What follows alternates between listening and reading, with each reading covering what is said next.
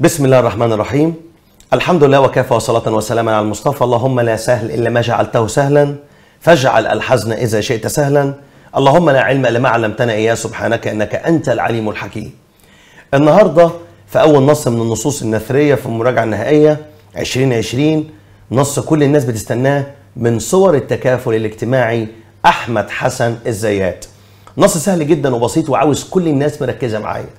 أحمد حسن الزيات المدافع الصلب عن الثقافة العربية الإسلامية بينتمي لاتجاه المحافظين المجددين. وهنشوف دلوقتي سمات الاتجاه إيه. كتب مقال قوي جدا اللي هو من صور التكافل الاجتماعي مقال نوعه اجتماعي أسلوبه أدبي في الكتابة وبينتمي لاتجاه المحافظين المجددين. لما أجي أقول لك إيه سمات المحافظين المجددين لازم تعرف إنهم اعتمدوا على بعض السمات. إحياء التراث سؤال مهم جدا في التعليق في كتاب المدرسة إحياء التراث تمجيد الماضي آه فصاحة وبلاغة الألفاظ. بقول كمان نقد الأمراض الاجتماعية الوافدة إلينا من الغرب. يبقى هم قاموا بتمجيد الماضي وإحياء التراث واهتموا بفصاحة الألفاظ وتأثروا بأساليب القدماء. دي سمات الاتجاه المحافظ أو المحافظين المجددين اللي بينتمي إليهم أحمد حسن الزيات. طيب بيعتمد أسلوب الزيات على دعامتين مهمين جدا جدا. سؤال دور أول 2017 أول ما أقول لك الدعامتين تقول لي حصل. الأولى الأخذ من الفكر الغربي. رقم اثنين الرجوع إلى بلاغة وفصاحة القدماء. اذا هو بيعتمد على الرجوع والأخذ وإثارة الفكر الغربي. الدعامة الثانية بيعتمد على فصاحة وبلاغة القدماء. طيب من أهم الأسئلة في تعليق كتاب المدرسة سمات أسلوب الزيات. ما إحنا قلناها يا مستر؟ لا للأسف. أنت قلت سمات الاتجاه اللي بينتمي إليه الزيات. اتجاه المحافظين المجددين اللي هو إحياء التراث تمجيد الماضي التأثر بالقدماء فصاحة وجزالة العبارات والألفاظ. آه ده سمات الاتجاه. إنما سمات أحمد حسن الزيات لازم تاخد بالك إن في سمات مهمة جدا جدا جدا في كتابته. أول حاجة بيميل إلى الإطناب في كتابته وخاصة الإطناب بالتفصيل بعد الإجمال وبعطف الخاص على العام والعكس إذا بيميل إلى الإطناب. بيميل إلى تنسيق الجمل الازدواج الجمل المتساوية اللي ادت جرس موسيقى رنان. أسلوبه ذات طابع خاص وسمة خاصة ليس بالمسجوع وليس بالمرسل. آه مهم جدا جدا جدا الحتة دي. إذا أسلوبه خاص ليه أسلوب خاص وفكر جديد. عشان كده بقول فعلا هو بيميل إلى الأسلوب الخاص ليس بالمسجوع وليس بالمرسل. أسلوبه ليه ميزة معينة خاصة في الموسيقى ما نقولش ان هو بيعتمد على السجع ابدا وما نقولش برضه إن كلامه مرسل ما فيش الكلام ده ولكن أسلوب ذات طابع خاص. طب تنسيق الجمل والتوازن بين الجمل قلت ده بينتج عنه جرس موسيقى رنان ونغمة موسيقية ودي حتة مميزة جدا في كتاباته. بيميل إلى الصور المبتكرة الصور المبتكرة يعني الصور الجديدة. أحيانا تحس إن هو بيبتكر بعض الأخيلة زي ما هنشوف غوائل الفقر وجرائر الجوع. هنشوف بعض الخيال المبتكر جديد. اذا هو بيميل إلى الخيال الجديد زي ما أنت شايف. يبقى في سمات معينة لازم تقولها لي. أول حاجة بقول أسلوبه يمتاز بنوع خاص. ليس بالمسجوع وليس بالمرسل. بيعتمد على توازن الجمل والألفاظ والعبارات. تنسيق الجمل والتوازن بينها بيميل إلى الإطناب. الحاجات دي برضه صاحب ثقافة إسلامية. اذا هو بيقتبس من القرآن الكريم في كلماته وفي كتاباته. لازم تاخد بالك من النقط دي عشان تاخد بالك من سمات أسلوبه لأن ده سؤال مهم جدا في التعليق بتاع كتاب المدرسة. لما أجي أقول لجأ الكاتب للموسيقى تقول لي حصل. الموسيقى نتجت عن السجع أحيانا وعن الازدواج في أغلبية الجمل. جاب ازدواج جمل متساوية. تبص تلاقي الجمل كلها متساوية. والازدواج ده بينتج عنه النغمة الموسيقية أو الجرس الموسيقي الرنان اللي بيعمل على لفت النظر وجذب الانتباه. النص ببساطة بيتكلم على كل الناس متخيلة إن الإسلام كان رسالة دينية فقط. لا طبعا. الإسلام رسالة كمان اجتماعية. إذا هو رسالة دينية ورسالة اجتماعية. الإسلام جاء لعلاج الفقر وهو أبشع الجرائم زي ما هيقول لنا أحمد حسن الزيات دلوقتي لما جاء يستقصى كده ويتفحص ويدرس آيات القرآن الكريم لأن ربنا اتكلم على الزكاه ما يربو عن الخمسين مرة ما يزيد عن الخمسين مرة إن كل حاجة من أركان الإسلام جاءت عدة مرات زي ما هيقول في الفقرة الأولى. أيوه. إنما الزكاة ربنا اتكلم عليها ما يربع عن خمسين مرة. ده يبين لك إن الزكاة ده ركن مهم جدا. ما هو كيف عالج الإسلام الفقر عن طريق الزكاة وعن طريق الصدقات والبر والإحسان؟ يقول لك ما الصدقة هي الزكاة. لا في فرق كبير جدا بين الزكاة حق مشروع ومعلوم في مال الغني يدفعه للفقير وفي فرق بين الصدقات ومظاهر البر والإحسان ووجوه البر والإحسان. الزكاة دي حاجة عليك ده فرض عليك. بيقول لك وكاد أن يكون هذا العلاج بعد توحيد الله. تعرف إن الزكاة دي لما اتذكرت أكتر من خمسين مرة ده راي الزيات بيقول إن هي كانت هتيجي بعد توحيد الله. يعني إيه أركان الإسلام شهادة أن لا إله إلا الله وأن محمد رسول الله وإقامة الصلاة وإيتاء الزكاة. هو شايف إن الزكاة من أهمية هذا العلاج وهذا الفرع وهذا الركن من أركان الإسلام. كاد هذا الركن الثالث كاد يأتي بعد توحيد الله. كان هيجي بعد توحيد ربنا. هو مش بيغير في أركان الإسلام. ولكن هو بيقول اهميه الكلام ده. في حاجات كلها كانت اختيارات إلهية ما كانش ليه حد يد فيها. ربنا اختار شبه الجزيرة العربية أرض الحجاز. الناس يقول لك اشمعنى الإسلام السؤال اللي كان بيدور في اذهاننا وإحنا صغيرين؟ لأن دي أشح البلاد طبيعة أفقر البلاد. عشان الفقر فيها مستوحش ومستفحل فعلا. لو ربنا قدر إن هو يقضي على الفقر في أرض الحجاز سوف يكون من السهل ومن اللين أن يقضي على الفقر في أرض مصر وسواد العراق. سواد العراق هي القرى المحيطة بالعراق. شوف الكلام؟ فعلا. يبقى ده بيبين لك بيبين لك إن اختيار الأرض ما كانش صدفة. طب ربنا اختار العرب ليه عشان ينزل فيهم الإسلام؟ كنا نزعل زمان. ليه الإسلام ما نزلش في مصر؟ ليه ما نزلش في المصريين؟ اشمعنى نزل في أرض الحجاز لأن ربنا اختار أشح البلاد طبيعة زي ما قلت عشان كده نزل في أرض الحجاز واختار كمان أفقر الأمم إن العرب كانوا بيمتازوا بالقحط والشدة. آه وفيهم صفات أنت هتعرف دلوقتي لو ربنا قدر يكسر الأنانية والطمع اللي كان فيهم قبل الإسلام يبقى هيبقى سهل جدا الإسلام ينتشر. شوف عظمة ربنا. اختار النبي صلى الله عليه وسلم اميا ليظهر حجته. آه ده اختاروا اميا عشان يبلغ الدليل والبرهان أمام الناس. لو كانوا اختار بيكتب ويقرأ كان قال لك ده كتب القرآن الكريم. كما اختاره ضعيفا وفقيرا ليظهر قوته. ما جابش واحد من قبيلة قريش وأنزل عليه الدعوة. ما جابش واحد من سادة العرب وعظماء العرب. ده كان ربنا ليه حكمة في الكلام ده.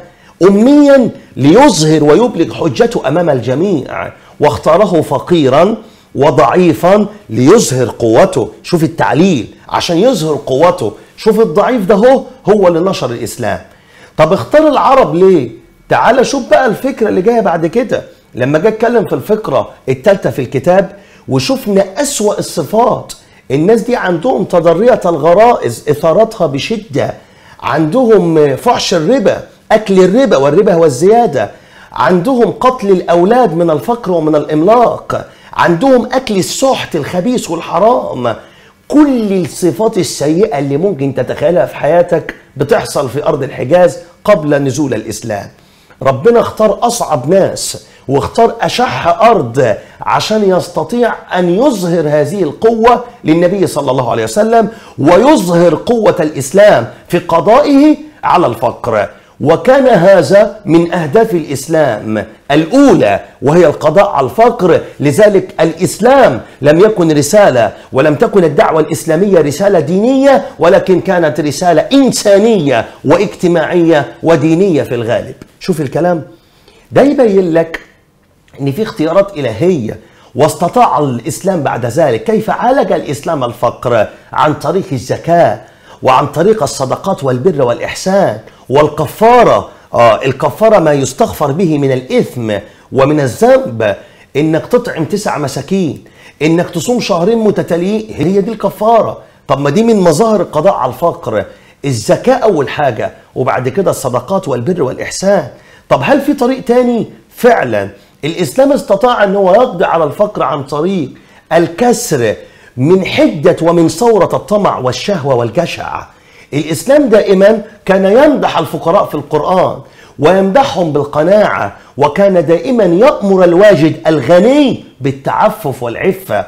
دايما بيقول له إن ما يبقاش طماع. طب ما ربنا بيكسر الطموح وبيكسر ثورة وشدة الطمع والجشع آه وبيأمرك بالقناعة. طب ما ده في حد ذاته علاج للفقر. ما هو لو كل إنسان دفع حق الله ومقدار الله في ماله مش هيبقى فقراء.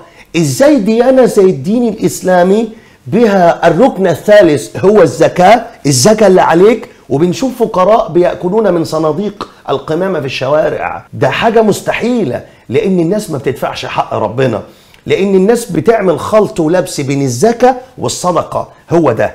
وكمان مش بس كده ده الإسلام كسر الشهوة والحدة بتاعة الطمع وبتاعة الطموح. الإسلام استطاع أن هو يكسر الكلام ده أن هو يمدح الغني ويمدحه بالعفة والتعفف ويأمر الواجد الغني بالقناعة.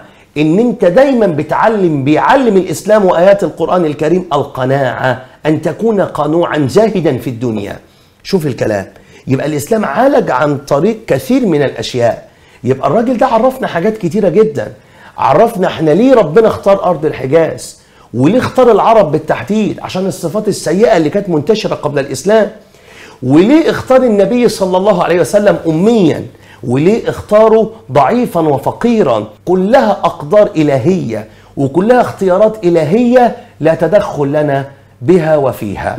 تعالى كده بسرعة نشوف أهم الأسئلة اللي ممكن تيجي على النص ده في الامتحان. أول حاجة بقول لك النص مقال اجتماعي وبقول لك كتب بأسلوب أدبي وبقول لك اتجاه المحافظين في الناس أو المحافظين المجددين زيه زي مين زي مصطفى صادق الرفع والمنفلوطي وطه حسين والعقاد في كتير جدا كتبوا في الاتجاه ده. أجي أقول لك سمات الاتجاه إيه؟ تقول لي حافظوا على سلامة الأداء وقوته أحيوا التراث تأثروا بأساليب القدماء مجدوا الماضي وتغنوا به. خلي بالك إن سمات الاتجاه المحافظ المجدد ده سمات مهمة جدا وده التعليق اللي أنتم مش بتعرفوا تحلوه بتزهقوا منه في الأسئلة. بعد كده الزيات بيعتمد على دعمتين أساسيتين فعلا في دور أول 2017 جابوها. الأولى الإفادة من آثار الفكر الغربي والثانية العودة إلى بلاغة القدماء والتعبير بالإيجاز ورصانة الفواصل والعبارات وقصر الجمل. اذا هو بيعود إلى بلاغة وفصاحه القدماء وبيعتمد على آثار الفكر الغربي. سمات الزيات الميل إلى تنسيق الجمل والعبارات اسلوبه ليه سمات خاصة. خلي بالك قلناها ليس بالمسجوع وليس بالمرسل. بيميل إلى الاطناب بيستخدم التشبيهات المبتكرة الجديدة بيستخدم اللفظة في مكانها الملائم. وبقول كمان ألفاظ الزيات جاءت معبرة وصوره أيضا موحية وكأنه يرسم ويبرع بريشته. كالفنان تماما. الموسيقى لجأ إلى الموسيقى الهادئة ودي نتجت عن الفواصل بين الجمل والغير مفتعلة مثل الازدواج في كثير من الجمل زي تضرية الغرائز وتمزيق العلائق ومعاناة الغزو ومكابدة الحرمان. شوف الازدواج لجرز موسيقى رنان. ربط الكاتب ولجأ إلى ربط الأسباب بالمسببات. ليه ربنا اختار الحجاز؟ لأنها أشح البلاد طبيعة. عشان يسرع الفقر في أمن حصونه وأقوى ميادينه ما هو لو ربنا قدر إن هو يقضي على الفقر في الحجاز أيوه. هيستطيع بعد كده إن هو يقضي عليها في ريف مصر وسواد العراق. شوف مصر كان فيها خير ونماء. تخيل إن الإسلام ما يزالش في مصر عشان الريف عشان كلمة ريف خضرة. في نماء وفي خير وفي خصوبة من نهر النيل. وسواد العراق هي القرى المحيطة بالعراق. يبقى الحجاز كانت هي فعلا الأرض اللي كان لازم نكسر ونهزم فيها العدو ده وهو الفقر. ربنا بيقول لو انهزم في قثار الحجاز آه الأرض التي لا زرع فيها ولا ماء اليابسة فكانت هزيمته سهلة ولينة في ريف مصر وسواد العراق. شوف الزيات بيشرح الكلام ده هو. ثم اختار الله رسوله فقيرا ليظهر قوته كما اختاره أميا ليبلغ حجته للجميع عشان يبلغ دليله وبرهانه للجميع. تعال كده. ولو ذهبت تستقصي ما نزل من الآيات وورد من الأحاديث في الصدقات والبر. آه شوف العطف هنا. لحسبت أن رسالة الإسلام لم يبعث بها الله محمدا آخر الظهر إلا لينقذ الإنسانية من غوائل الفقر وجرائر الجوع. وحسبك أن تعلم أن آية الصيام في الكتاب أربعة وآية الحج بضع عشرة وآية الصلاة لا تبلغ الثلاثين. أما آية الزكاة والصدقات فإنها تربو على الخمسين بتزيد على الخمسين. ودي كانت مفاجأة فعلا للزيات نفسه ولينا إحنا كمان؟ تستقصي تبحث بدقة مرادف غوائل شر وفساد مفرد جرائر جريرة وهي الجنايات والمصائب.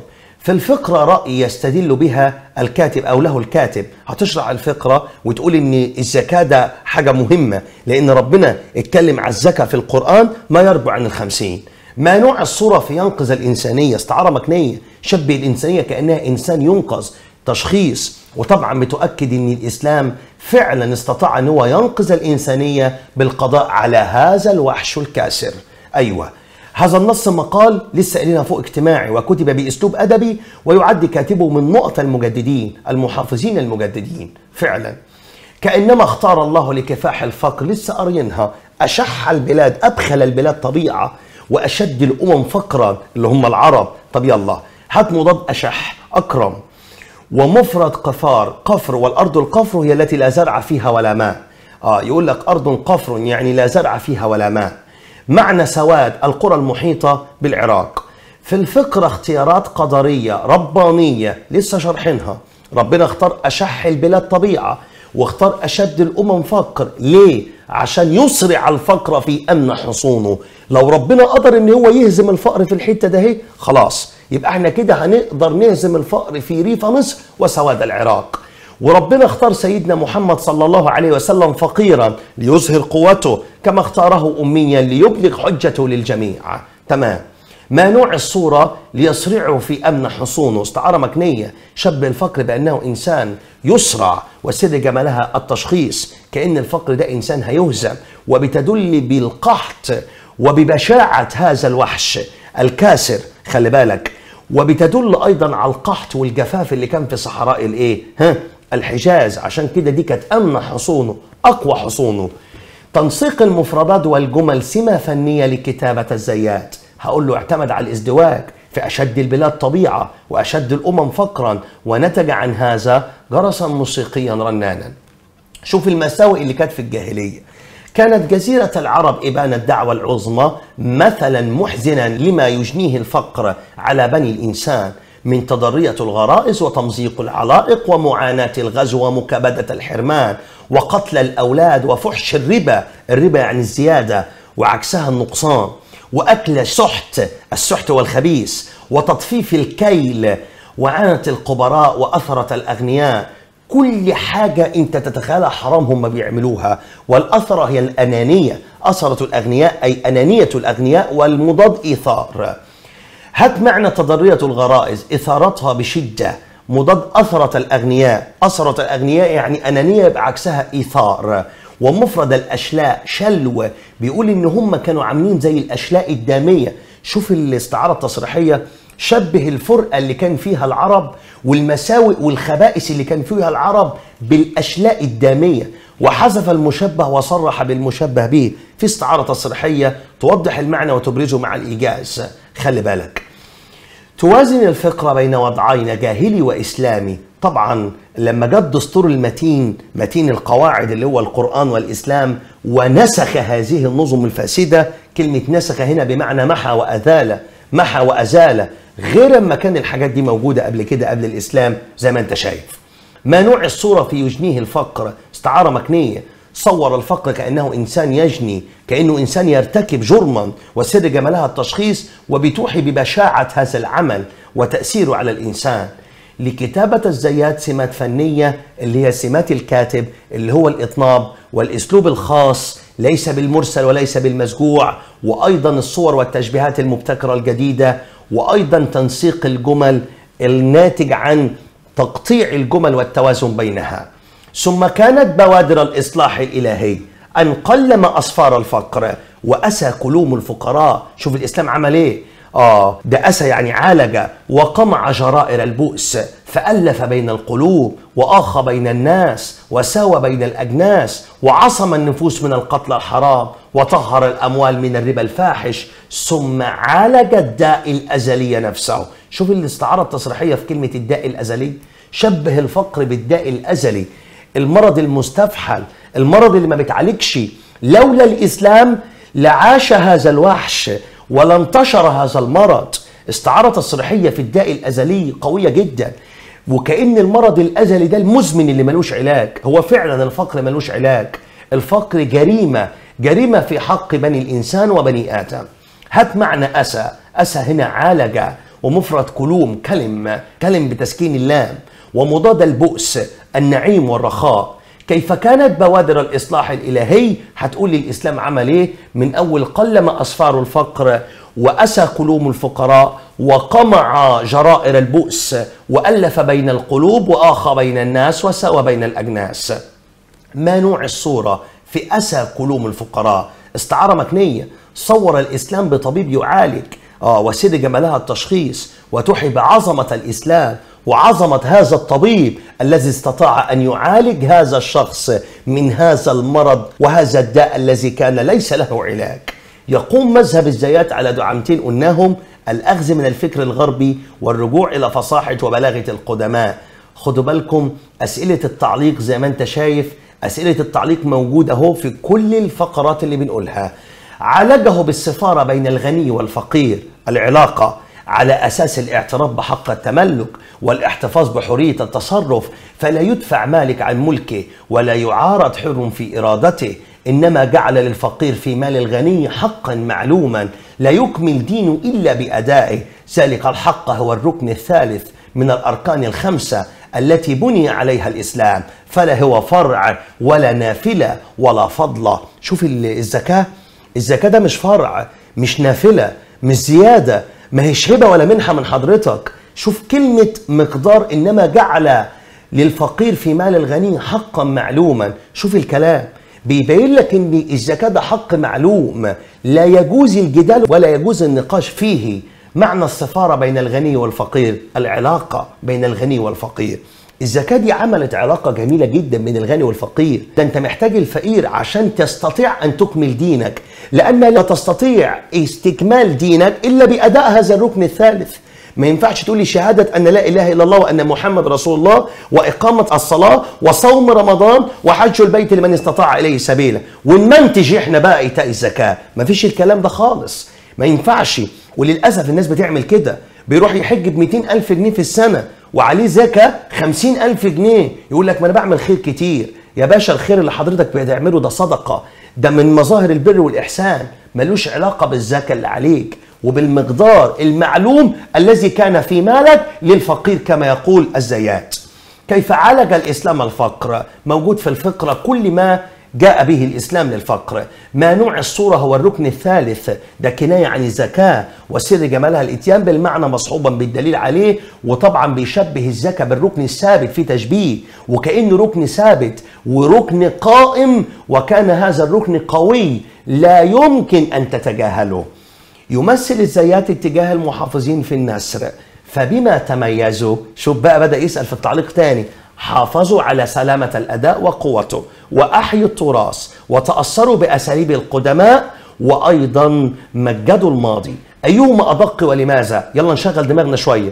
إنما جعل للفقير في مال الغني حقا معلوما ولا جعل في مال الغني مقدارا معلوما؟ أنا هختار حقا معلوما لأن أخذ الحق من مال الغني أمر واجب لا نقاش فيه.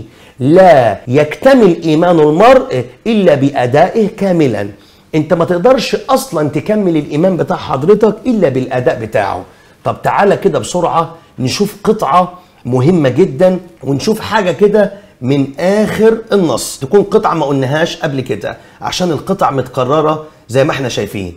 دور أول 2017 عالج الإسلام الفقر. علاج من يعلم أنه أصل كل داء ومصدر كل شر. وقد أوشك هذا العلاج أن يكون بعد توحيد الله. مش أنا اللي قلت كده والله ده الزيات. مش أنا اللي قلت كده.